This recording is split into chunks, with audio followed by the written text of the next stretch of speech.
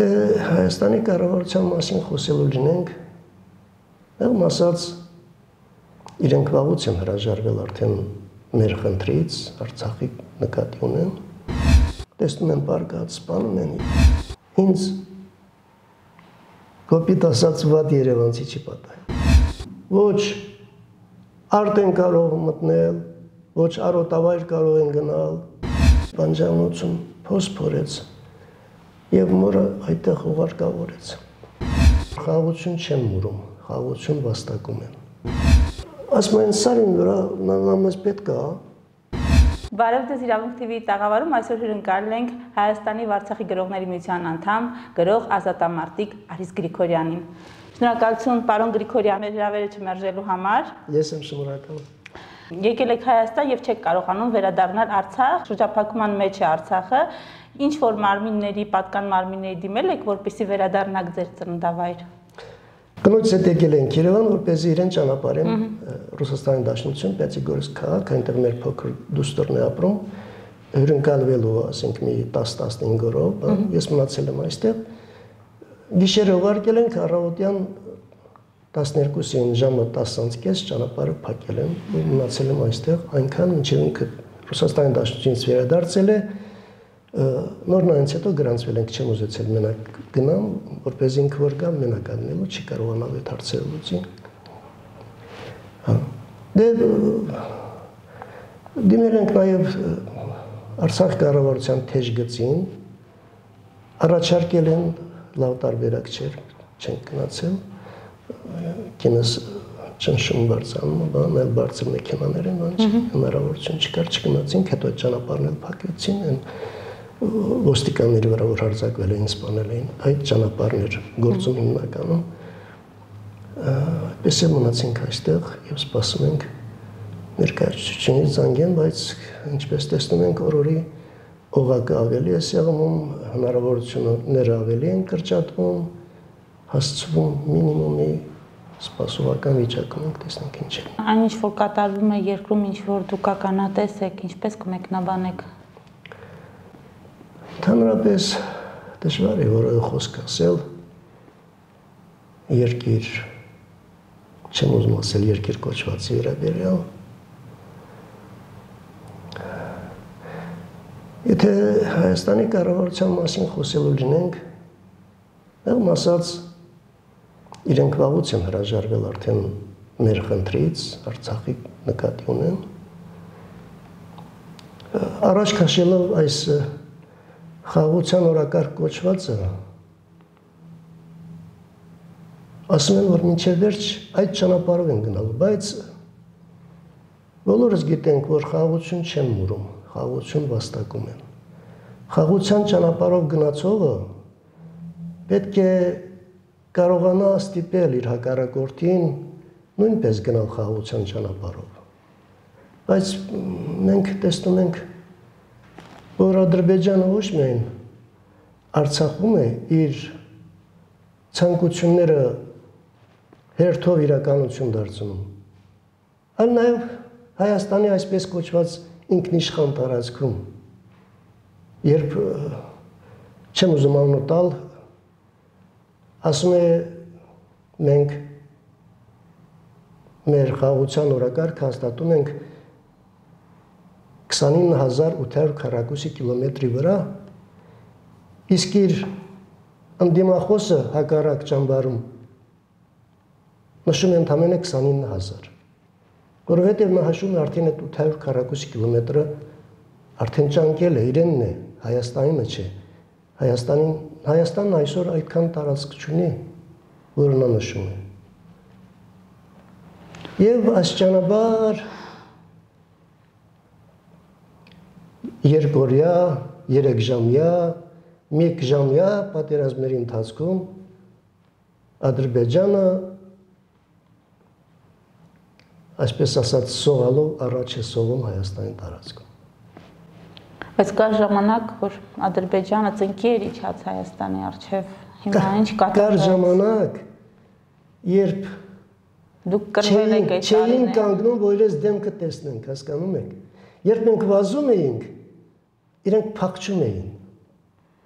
Եվ մինչև Կիրովաբադ հիմա Գյանջա մարդ չկար, բնակչություն չկար, լրիվ փախել էին։ Նրանք գիտեին, որ մինչև Քուր գետը հայկական տարածքներ են, եւ մենք մինչև Քուր գետը գնալու ենք, բայց մեզ չթողեցին, մեզ կանգնեցրին։ Մեզ նույնիսկ չթողեցին մեր Մարտակերտի տափաստանային իրենց տիրապետության տակ անցած գյուղերը նույնիսկ ազատագրենք, չթողեցին, մեզ կանգնեցրին։ Ներկա ներկա 44 94 թվական։ Այո, այո։ Այն ժամանակ նրանք աղերսում էին խաղաղություն, իսկ հիմա հիմա կամահարանքով են խոսում մեզ հետ։ Այ այդպիսի վիճակում ենք այսօր։ Որպես ստեղծագործող դուք նաև գիրք եք գրել այդ տարիների մասին, կպատմեք այդ գրքից։ Այս գիրքը ես Սկսել եմ դեռևս այն ժամանակ, երբ աշխատում էի գրողների միությունում, Արցախի գրողների միության Արցախ գրական գեղարվեստական հանդեսում որպես ավակ խմբագիր, գլխավոր խմբագիրը Կիմ Գաբրելյանը, հիմա Արցախի լրագրողների միության, ժուրնալիստների միության նախագահն է, բանասիրական գիտությունների տեխնացում, որոշեց հանդեսում բաժին առանձին բաժին բացել Արցախյան իրադարձությունների փոստարգր խորագրով եւ խորհրդակցեցինք ինձ հանձնարարեց, որ ես այդ տվյալները հավաքեմ, բարբերաբար ամեն համարում դնենք։ Եվ այդպես էլ սկսեցի 88 թվականից շարժման սկզբից նրանից հետո երբ 93-ին ես տեղափոխվեցի գործող բանակ, Վաշտի հրամանատարի տեղակալ էի, ավակ լեյտենանտ։ Ժամանակավորապես ես դադարեցրի այդ նյութերի հայթայթումը, տպագրումը հանդեսում, հանդեսը տպագրվում էր իհարկե ժամանակի սղության, անհարմարությունների, մարտական գործողությունների ընթացքում այդ պատճառներով Հետո ուրեմն հրադադարի հաստատումից հետո ես տեղափոխվեցի բանակային մարտիկ թերթի խմբագրություն եւ ծառայություն շարունակեցի մասնագիտությամբ որպես լրագրող։ Այդ ընթացքում արդեն ես հնարավորություն ստացա նորից վերադառնալ այս գործին։ Իհարկե այն ժամանակ մինչև 94 թվականն հետո մարտիկ թերթում մենք տպագրեցինք Արցախյան շարժման տասնամյա տարեգրություն արդեն Մարտիկ Թերթի խմբագիրը Հրանտ Ալեքսանյանն էր 88-98 թվականների ողջ տարեգրությունը ես պատրաստել էի այս գիրքը հիմնականում ընդգրկում է ռազմական բախումների ժամանակագրությունը ուրեմն 88 թվականից սկսած մինչև 22 թվականի մարտի 16 մարտի 26 ներողություն։ Այսինքն 44 օրյա պատերազմի հետ կապված էլ կան թվակներ։ Այստեղ կան եւ 44 օրյա պատերազմի տարեգրությունը, ժամանակագրությունը եւ 100 օրյա պատերազմի եւ տարբեր միջադեպերի մասի 2000 2008 թվականից մինչև 14 թվականները Մարտակերտում, Լևոնարխի, Արցախի սահմանի վրա 10-ին նորից խախտված անդորի մասին, 12 թվականի հունիսյան ռազմական բախման մասին, 14 թվականի 16 թվականի ապրիլյան չհաջողված բլիցկրիգի մասին, քարորիա պատերազմի Եվ իհարկե 44 օրյա պատերազմից հետո բոլոր բախումների մասին մինչև մարտի 26-ը 22 թվականի։ Ես սա շարունակել եմ, գիրքը տպագրվել է անցյալ տարի ապրիլին, շարունակել եմ մինչև 22 թվականի օգոստոսյան իրադարձությունները, բայց այնուհետև ժամանակավորապես դադարեցրել եմ։ Այս վերջին իրադարձությունների մասին չկա էլի ընդհանուր գրքի մեջ էլի, այս գրքում չկա եւ այս գրքը շարունակվում է վերանանում Վերադառնանք այդ տարիներ, ինչ կհիշեք այդ տարիներից։ Առաջին պատերազմը առաջին պատերազմում մենք երանության մեջ էինք, որովհետև մենք գիտեինք ինչի համար ենք գնում, մենք գնում ենք մեր ինքնությունը վերականգնելու, մեր մեր պապենական, այսպես ասած, հողեր ազատագրելու։ Մենք իհարկե այդքան շրջանները վերցրել ենք ոչ թե բռնազավթման նպատակով։ Մենք դա այդ այդ տարածքներ ազատագրել ենք, որ เป զի մեզանից հեռացնենք ճշնամու կողմից սպասվելիք բոլոր վտանգները։ Ա, այն ժամանակ էլ այսպես մենք շրջափակման մեջ էինք 92 թվականին մինչև մայիսի 9, մայիսի 7-ին, 8-ին, 9-ին մենք կարողացանք ցույց տալ մեր բազգի ուժը այնուհետև 17-ին, 18-ին մինչև 20-ը բացեցինք ճանապարհը մինչև Գորիս եւ կարողացանք ազատ ելումուտ այնուհետև բացեցինք Խարվաճարով ճանապարհը, հետո ընդլայնեցինք ակնայի շրջանում, ներքևում, մինչև Հորադիս, մենք նույնիսկ հասանք մինչև կամրջին, բայց քանի որ Ադրբեջանի կապը Իրանի հետ այդ կամրջով էր, կամրջյանը։ Նա ինչ էր։ Խուդափերինի կամուրջը, Խուդափերինի կամուրջը Մենք թողեցինք այդ տարածքների մի մասը, որ เป զի չխանգարենք Իրանին ու Ադրբեջանին իրար հետ առևտրական կապ շարունակելը։ Մենք այն աստիճան ենք նեղել, այսպես ասած ադրբեջանցիներին, որ իրենք էին խաղաղություն ավերսում եւ հրադադարի պայմանագիր ստորագրել ավերսում։ Այդպես էլ եղավ, բայց մենք մենք կարծես թե այդ ողջ տարիների ընթացքում քնով ենք անցել մենք մենք մոռացել ենք ում հետ գործ ունենք իսկ ինչ հիշողություններ ունեք մարտական գործողությունների ժամանակ ընկերներ եք ունեցել իրենց հետ կապված ինչ որ հիշողություններով կիսվեք ձեր եղբայրն է մահացել չէ հերոսացել իմ եղբայրը զոհվել է 94 թվականի ապրիլի 18-ին հրադադարից մի կես ամիս առաջ համարյա տենց ես էլ մենք տարբեր զորամասերում ենք ծառայում ինքը Մարտակերտում էր ես Ստեփանակերտում էի Ստեփանակերտի կենտրոնական պաշտպանական շրջանի կազմում էի ես իհարկե ընկերներ են ունեցել որ մեր կողքին վիրավորվել են, զոհվել են, ես նույնիսկ բանաստեղծություններ ունեմ գրած նրանց մասին գիրք չկա մոտս որ կարդամ գիրել գուցե չի հիշեմ բայց դրանք արտացոլում են այդ տվյալ իրավիճակը տվյալ ժամանակաշրջանում պատմում այն հերոսական գործողությունների մասին, որ կատարում էին իմ ընկերները, եւ ոչ միայն իմ ընկերները, բոլորը, ովքեր զենքը ձեռքին մարտնչում էին ճշնամու դեմ առաջնագծում։ Ես ձեր պատմվածքների մեջ մի այնպիսի հատված կա, որտեղ հավաբնում կինը թաքնվել է, որպեսի ադրբեջանցիներին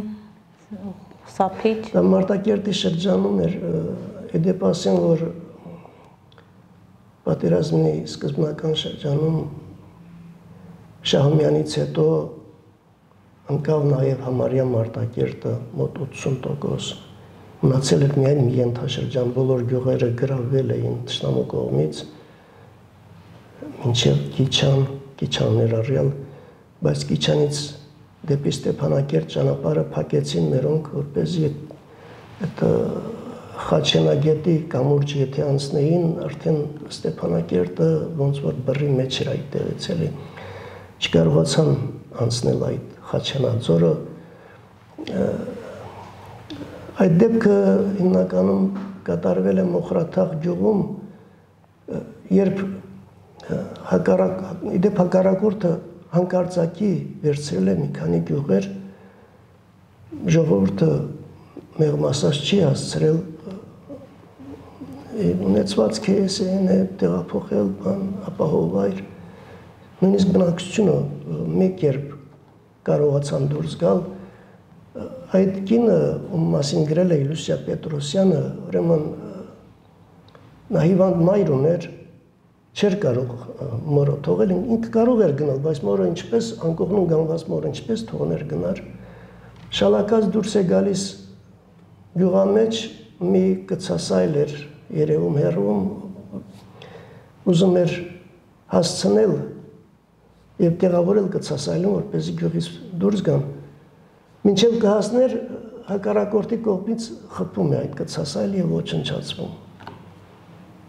ստիպած նորից տաքստոց է վերադառնում մոր հետ մորը պարկեցնում անդադ խնամում էր ինքը ներքևում էր բայց մորը չէր կարող տանել հավաբանում տեղավորել սենակում էր պարկած մայրը ադրբեջանցիները գնում գալիս էին բոլոր տները թալանում էին, ավերում էին, հրիկ ճարակ էին դարձնում ու այդ տուններ են մտնում կնոջը տեսնում են բարգած, սպանում են եւ այլն, բայց դե ինքը ինչ անի մի կերպ իրեն պահում է որ չգոռա, բան, իրեն էլ չմատնի տեղը այդպես 16 օր 16 օր նամնում է գյուղում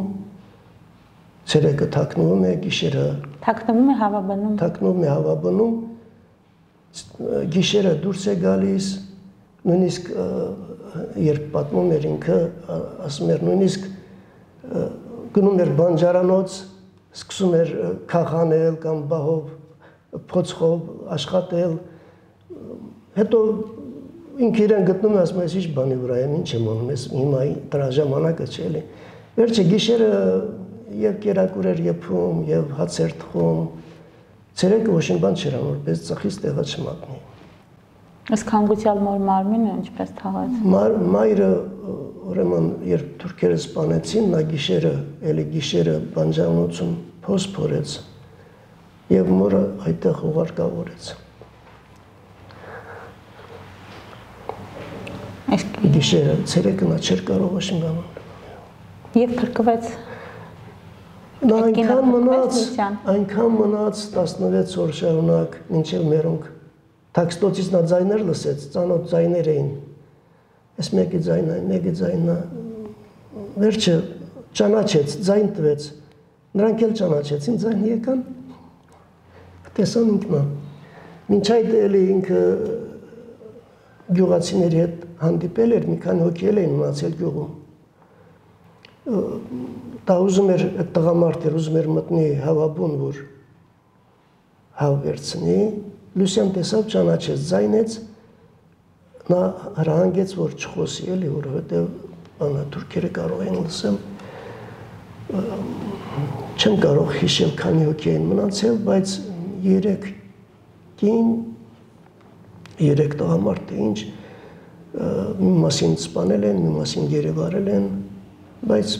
այդ գյուղում մնացել է մենակ Լուսյան, որ ողջ է մնացել, որ տշամիները նրան չեն գտել հայ։ Հավաբանը փրկել է Լուսիայի կյանք։ Վերադառնանք ներկա իրականություն, գրական կյանքը ինչպեսին է հիմա Ստեփանակերտում։ Կապ ունեք ձեր գրչակից ընկերների հետ։ Իհարկե, զանգում ենք, խոսում ենք, վերջերս ուրեմն Վարդան Հակոբյանի մահանալուց հետո 40-ից հետո ուրեմն արտահերտ արտահերտ համագումարն անցկացել է Ստեփանակերտում գրողների միության նոր նախագահ ընտրել երկու տեխնացու են Կին Գաբրելյան, Նորեկ Գասպարյան, ընտրվել է Նորեկ Գասպարյանը։ Այստեղ էլ շփվում եմ Հայաստանի գրողների միության հետ, գնում եմ ինչ պետք է կարողություններով օգնում եմ, իմ օգնությունն եմ առաջարկում առաջիկային պիտի տեղեկատու տպագրվի գրողների միության ծավալուն լուսանկարներով, կենսագրություններով։ Իսկ մինչ այդ ընդհանրապես տպում էին գրական տեղեկատու հասցեագիրք, փոքր ծավալի միայն հասցեները անունները, այդքան հեռախոսահամարները։ Հիմա ուրեմն Ստեփանակերտում պետք է ասեմ, որ համագումարից հետո նոր կազմակերպություն էլ է ստեղծվել գրողների Արցախյան միավորում Կիմ Գաբրիելյանի ղեկավարությամբ աջակցությամբ։ Այսինքն երկու գրողների միություն կա, հա։ Աստորեն ստացում է, այո, հա, սա առաջի քայլերն անում դեռ որոշել ենք տպագրել մատենաշար, միավորման մատենաշար, մոտ 10 գիրք չափածոյով արձակ ընթացքի մեջ է ես ներկայումս հիմնականում դրանով եմ զբաղված այստեղ Իսկ թղթի խնդիր կա։ Մի ժամանակ կար, չէ՞, թղթի խնդիր Թղթի խնդիր Ստեփանակերտում կար, բայց հիմա այդ անհրաժեշտ տպագրական արտադրանք արտադրելու համար թուղթ տանում են։ Այդ գրքերը Ստեփանակերտում չենք տպելու, այստեղ ենք տպելու։ Ես այստեղ եմ այդ գործերով կոորդինացնում եմ, զբաղվում եմ։ Իսկ ինչ թեմայով է։ Բանաստեղծություններ, արձակ հիմնականում Իսկ կապ ունեք կենցաղային վիճակն ինչպիսին է գազը անջատված էր 1 ամիս գազը անջատված է հիմա էլ է անջատված հոսանք անջատված է վաղուց հունվարի սկզբից դեռևս ներքին ռեսուրսների հաշվին են այս սնունդը ինչպես է սննդի հարցը սնունդը այսպես ասած յոլային տանում ինչ անեն ինչ այն նորն էլ կանգնեցնում են 14-եր 16 ժամ պահեցին գիտեն որ միրգա բանա սնունդա պահում են փչանան որ բաց թողեն հա այդտենց մեկը բաց են թողում բայց ադրբեջանցիները իրենց ցածակետով Դուք համաձայն կլինեք ադրբեջանցիների հետ ապրել, եթե հանգարց ինչ-որ այլ որոշումներ լինեն։ Արցախցին կարող է ադրբեջանցու հետ ապրել, ինչպես նախկինում խստում։ Մենք նախկինում էլ ենք ապրել։ Բայց այն ժամանակ մենք ապրել ենք ուրիշ պետությունում։ Հիմա եթե մենք ադրբեջանցիների հետ ապրենք, է ապրենք ադրբեջանի պետությունում։ Պատկերացրեք այդ մուսուլմանական երկրում քրիստոնեական երբ սրբատեղիները ոչնչացնում են, մենք ինչպես կարող ենք այդտեղ ապրել։ Երբ մնացածն են, որոնք դեռ մեր ձերքի տակ են, այսպես ասած, անվանում են աղվանական, ոչ թե քրիստոնեական ոչ թե հայկական քրիստոնեական, աղվանակ քրիստոն, աղվաններն են քրիստոնեական։ Հա։ Նրանց հետ հետո այսքանից հետո էլ այսքան զոհերից հետո սա պիտի ահագին ժամանակ անցնի սերունդներ փոխվեն որ կոպիտ ասած այս ամենը մոռացության մատնվի որ միասին ապրելու հնարավորություն ստեղծվի բայց ներկա պահին չեմ գտնում թե կարող եմ այ այսօրվանից գնալ եւ միասին ապրել դա հնարավոր բան չի Երևանում եք ապրում գոհ եք ճիշտ ասած այդ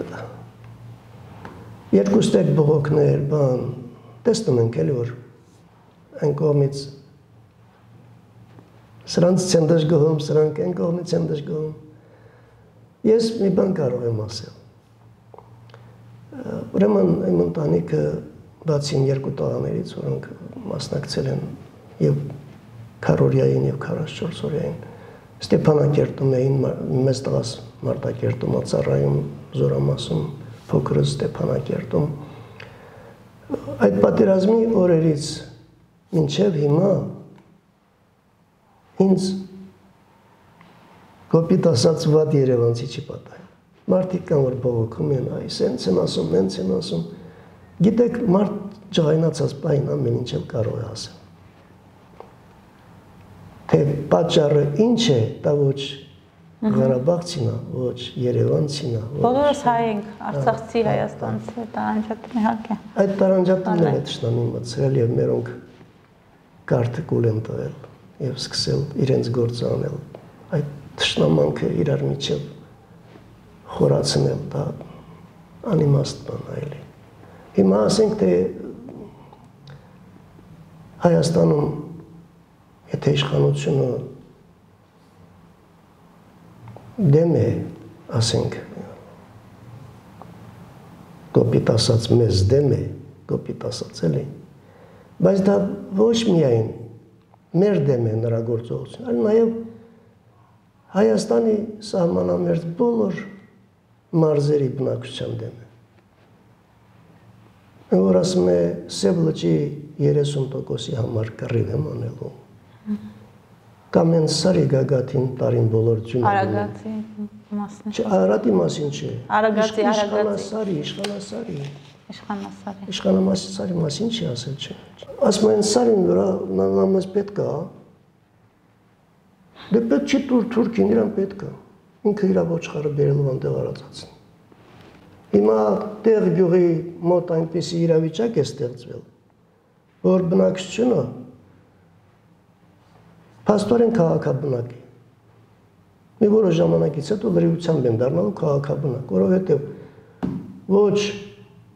արտ են կարող մտնել, ոչ արոտավայր կարող են գնալ, որովհետև ճշնամու հայացքի առաջ չեն կարա։ Ճշնամու զգողության տակ չեն կարա գնան իրենք իրենց արտերը կամ հնձեն կամ սև ցելանեն ես չէ այ այդպեսի վիճակ է դա էլ հողարաբաղ չի արցախ չի դա էլ Հիշողություններ ունեք այդպեսի մի դեպք որ ընդհանրապես անջնջելի է հիշողությունից դա 94 թվականի հունվարի 8-ն էր երբ մեր գումարտակը Ֆիզուլուց դուրս եկավ խաղայկիներով առաջանալու նպատակով եւ մի բաց տարածքում խաղայգուց ներքև ուրեմն ընկավ հակարակ դարանակալ հակարակորթի կրակի տակ ճանապարհ էր ճանապարհի կողմերին դարանակալել էին եւ մեր տղաներից մեկ անմիջապես սպանվեց Արմեն Բաբայան հրամանատարը տեսավ դասակի հրամանատարը եւ գոռաց ես այդ մասին բանաստեղծություն եմ գրել գոռաց Արմենն ընկավ ասաց եւ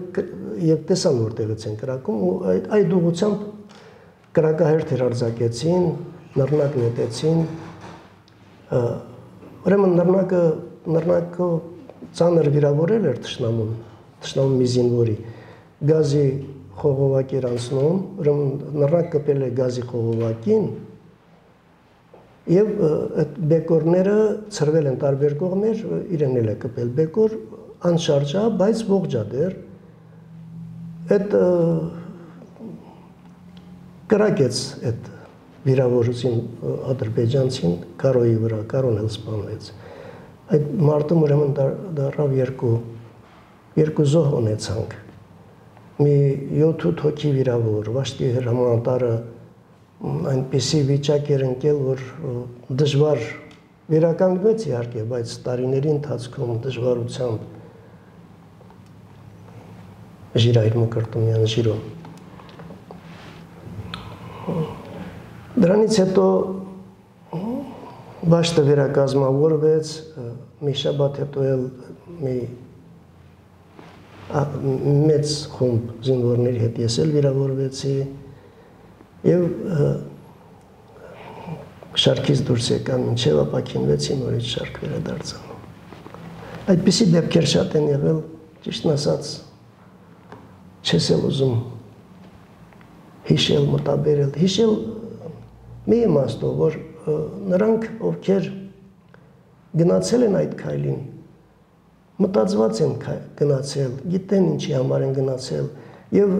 մի կարևոր հանգամանք էլ ասեմ, որ երբ դե այն ժամանակ բարձրանում են մեքենայի թափքը, այդ բեռնատար մեքենաներով են կելի տեղաշարժում, բան ճանապարհին, որ ասենք առավոտ շուտ արտանում էինք, նախաճաշում պատրաստում որ պիտի երթի դուրս գանք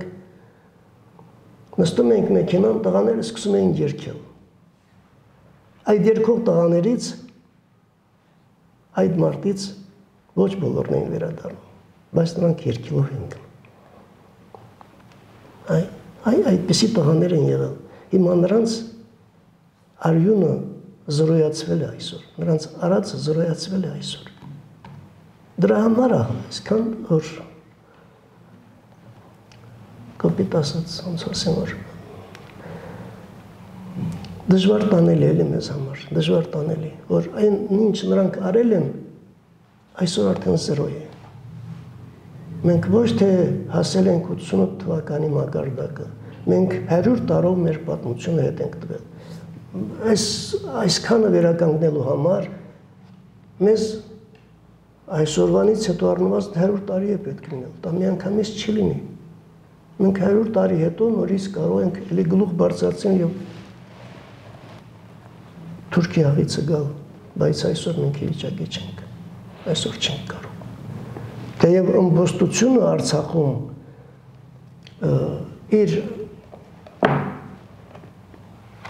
մակարդակը միշտ պահպանել։ Ես այստեղ մի բան եմ գրել գիրքս, որ վերջացրել եմ այս գիրքը։ Ուզում մի քանի տող կարդամ։ Ուրեմն սա 22 թվականի գարնան, երբ ձյուներ եւ ադրբեջանցիները վերցրել էին Արցախում բնագծեր Աղդամի ուղությամբ դեպի Խարագլուխ բան